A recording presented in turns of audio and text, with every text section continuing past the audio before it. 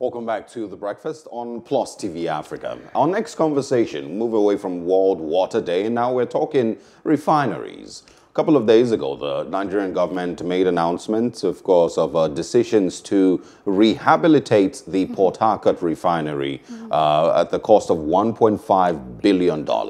This has, in the last few days, uh, brought reactions from across the country, uh, from major political uh, leaders um, across the country, and of course, civil society groups, uh, of course, complaining about why the government will spend that much money to rehabilitate a refinery. And, um, you know, Atiku Abubakar, Peter Obi, at Ted Peter side are some of the biggest names who have shared their thoughts, you know, calling this, uh, you know, waste of money. This morning, we're joined by Mr. Martin Onovo, a petroleum engineer, to share his thoughts on this uh, discussion. Of course, is this a great idea by the Nigerian government, or does he agree that maybe it's wastage, according to other people who have made their, uh, their views on this? Good morning, Mr. Onovo. Good morning. Good morning. Thanks for joining us. All right, Thank I'm, you. I'm gonna, you know, let you get your views on this first before we go into other questions. Uh, there's people who have described this as wasteful and very unnecessary uh, move by the Nigerian government. They've uh, given different reasons. Of course, mentioned the Martinez refinery that uh, Shell sold for 1.2 billion dollars, and then asked why we will be spending this much uh, to rehabilitate a refinery that has produced almost nothing in the last couple of decades. Um, do you agree with this, uh, this perspective? Well, um, we need to be specific. Uh, let me put some background to this. The refineries here in Nigeria are very valuable national assets. We need to get that very clear. That's number one. Number two, these refineries are very critical to national economic development. That's number two. Should we fix the refineries? Most definitely, yes. Will it cost $1.5 billion? I do not think so. Can this government fix the refineries? Very, very unlikely, and I'll give you some background. Late in 2015, this same government promised, or even if you want me to go further back, before the elections, this same government promised it will build new modern refineries. It's six years down the road, none has been built. Late in 2015, it promised that the refineries will be back on production within 90 days. That did not happen. In 2016, it informed us that it was in discussions with the original equipment manufacturers to fix the refineries. Thereafter, it informed us that it could not afford the price then, which was 200 and uh, I think 97 million dollars. Thereafter, the same government informed us that it was going to engage local service companies to fix the refineries.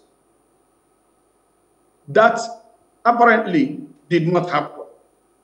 Thereafter, the government claimed it needed $550 million to fix all the refineries, all. That did not happen. Thereafter, the government said it needed $1.2 billion to fix all the refineries. That did not happen. Now, the government says it needs $1.5 billion to fix only Port Harcourt. Now, you can see why so many people are suspicious that this is another channel for slush funds. In addition, Ghana has been conducting turnaround maintenances on its refinery, the Tema oil refinery. The last phase concluded cost only $36 million.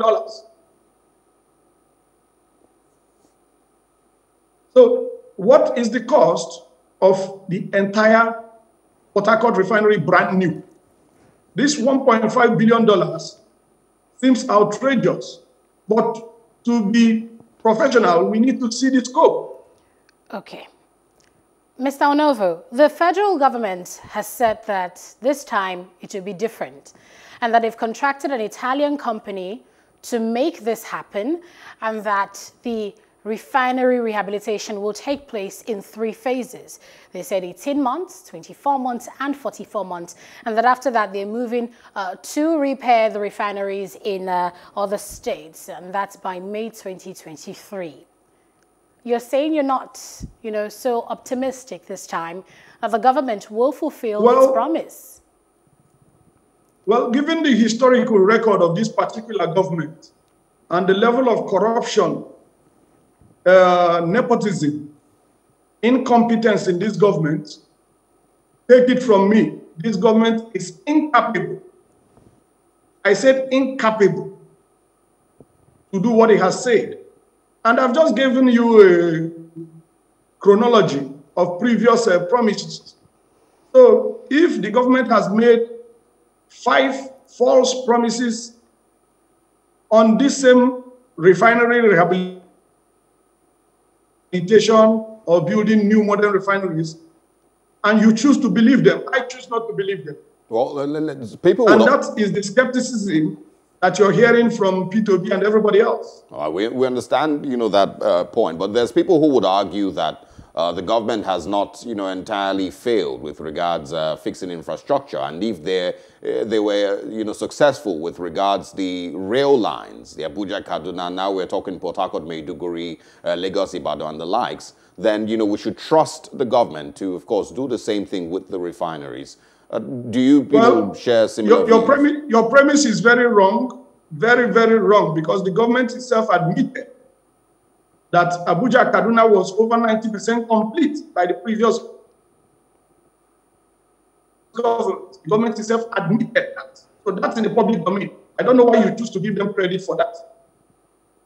No, it's not. It's not. It's not my view now. I'm, I'm, sharing, you know, some of the statements that I've seen. People say, well, you know, if they were able, you know, to you know, fix the rail lines, they've gotten some of the trains uh, running, then we should trust them with the refineries. And I'm just sharing that with you. Um, I also well, want to. There, there are two dimensions to it. Yes. There's the dimension of the complete lack of credibility. There's the dimension of corruption. Now, there's also the dimension of capacity. Capacity. And if you want to have a comprehensive uh, perspective, you need to consider all these dimensions. Otherwise, even the Rivers uh, state governor has publicly expressed his uh, skepticism. Okay. And this is founded. This is founded on a very elaborate and ignominious uh, chronology of false promises on the same subject and on other subjects. So the government has a total lack of credibility. All right. I, I want to bring up, you know, the statements from Atedo Peterside. Um, he, it said, in quote, the federal government should halt the $1.5 billion approval uh, for repair of Port Harcourt uh, refinery and subject this brazen and expensive adventure to an informed national debate. Many experts prefer that this refinery is sold as is by the Bureau of Public Enterprise to core investors with proven capacity to repair it with their own funds. Uh, do you think that might be a better move by the government? No, categorically no. When we started this discussion, I clearly pointed out that the refineries are very valuable national assets. I do not think anybody will contest that. I also insist that the refineries are very critical to national economic development. The issue here is the issue of corruption, which so many people don't want to mention. So they hide behind all these technical uh, issues. It's an issue of corruption, nepotism, associated incompetence, and a complete lack of credibility.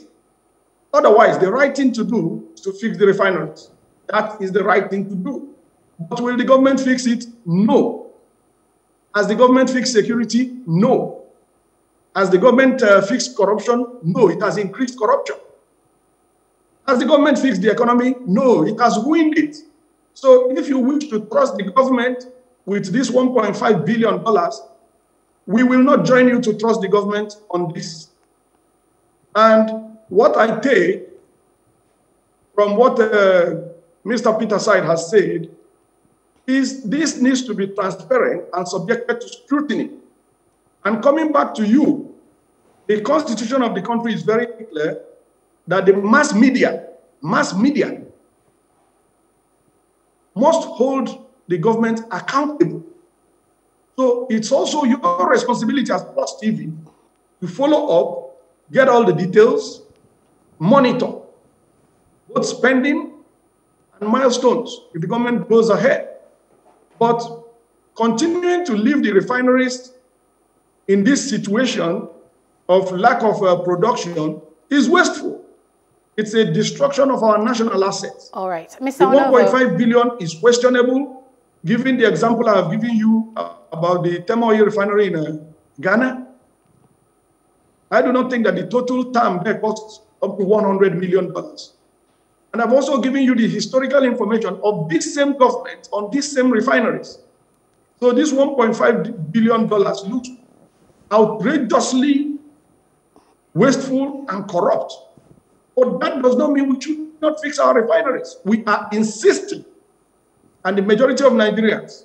So it's not only the movement for fundamental change. All right, Mr. Onovo. Um, um, it's Labour also has this position, and that is the correct patriotic position. Okay.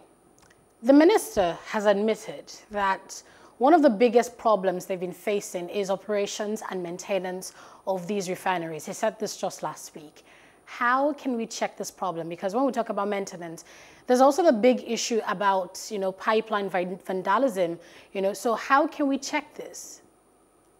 The minister has self-indicted he has been a minister for so long. What is his responsibility? It is his responsibility to check that. What is he managing?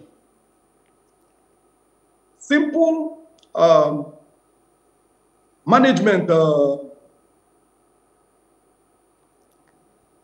systems require that you have preventive components of your systems, you have verification components of your systems, mm -hmm. and you have corrective components of your systems.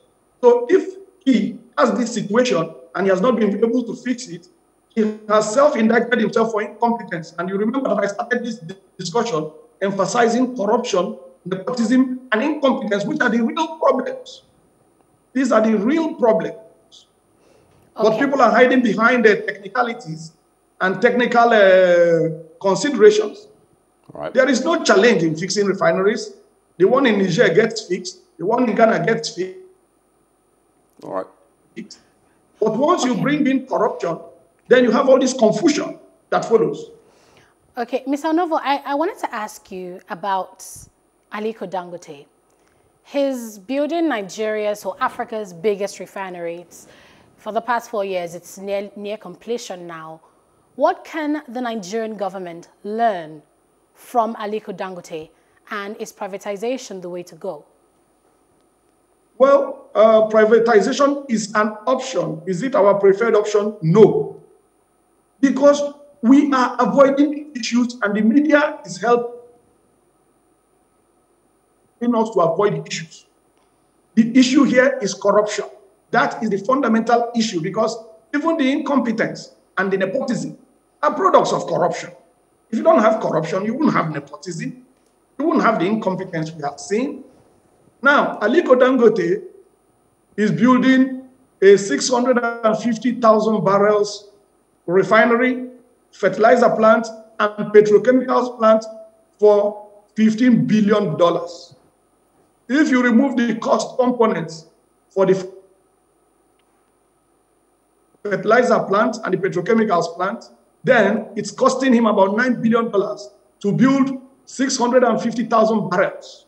If you use that as your cost guidance, then you find out that it costs you less than $1.5 billion to build 100,000 barrels. That is simple arithmetic. Primary school children can do that. Now, you are going to use $1.5 billion to do a repair that you have failed to do several times. Who wants to believe that? If you choose to believe that, we're not going to believe that. And we're saying that this government needs to be thoroughly checked, thoroughly, by the media that has the constitutional responsibility to hold the government accountable, and also by the legislature. This needs to be thoroughly checked. The amount sounds outrageous. As you can see with the comparison of the Dangote cost, the amount sounds outrageous, and this government has failed on everything else. Why do you think it would succeed on this one? All right. All right. So, so on every Mr. Sylva is saying that Nigerians should hold him accountable for every dollar and every spent, um, every dollar and every cent spent on this Port Harcourt refineries, insisting strongly that the president wants to leave a legacy of, you know, refineries that he built and rehabilitated. You know, so just to put like I said, Mr. Sylva has first self-indicted himself for incompetence. I've said that earlier. Uh, what is his credibility for us to believe him when he has self-indicted himself for incompetence? The president he's talking about has been in office for six years. The president effectively has less than two years to spend in office because typically the election year is dominated by politics. So effectively, he has less than two years. What he has not been able to do in six years, Mr. Sylva wants us to believe he can do in one and a half. If you choose to believe him, we choose not to believe him. All right, that's and like I said, the way forward now is for the media. This amount is near 700 billion. ASUU was at home because of 65 billion for very many months, nearly a year. And this is 700 billion. Please, right. media needs to sit up, follow up, and hold the government accountable not as demanded by myself, but as required by the Constitution of the Federal Republic of Nigeria. Okay, I, I, also want you to share your views on, you know, the modular, modular refineries that the government has repeatedly spoken about. Um, you know, there's uh, some of them that I believe have already uh, started, but they've continued to speak on investment in modular refineries and open up that space so that we can channel our uh, resources there. Uh, do you also believe that that might be a better option? Um, instead of spending $1.5 billion on, you know, just the Port Harcourt refinery?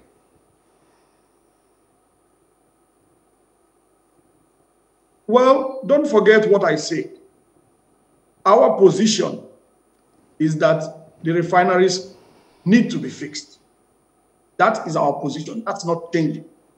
What we're saying is that this government is too corrupt, too incompetent to fix anything and has not been able to fix anything in six years. We're also saying that the $1.5 billion appears outrageous. Therefore, the government needs to be very clearly transparent for us to see the scope, verify the scope, verify the costs, verify the contractor selection process, and then monitor progress. This needs to be done. Well, we we completely, you know, get your views. Uh, we're just asking for, um, you know, now you've said, you know, it, it, it the government has less than two years to remain in office. Um, is, is there any things that you think are still possible with regards uh, Nigeria being able to refine its own uh, petroleum? Um, and unfortunately, in the, in the midst of all these conversations, Th we, thank we, you, lost, We've lost, you know, other, you know, details that a refinery should be able to produce. We've continued to flare gas and waste those resources for many, many years. And we don't even talk about these things. So what would your suggestions be if you were in government? The, the refineries need to be fixed. We have said that. But no system this government is too corrupt, too incompetent to be trusted on any item, any, even on a $100 million. And the indications are clear. This $1.5 billion is maybe the 10th story the government is telling on refineries. So why on earth will any objective person trust the government? No system, no matter how brilliant, can work without integrity. Integrity is the foundation Integrity is what the government lacks. And it is the lack of integrity that you see as corruption, you see as nepotism, you see as incompetence, you see as the inefficiency in running the refineries. Should we fix our refineries? Definitely yes. Can this government fix it? Too corrupt, too incompetent. What are the options going forward?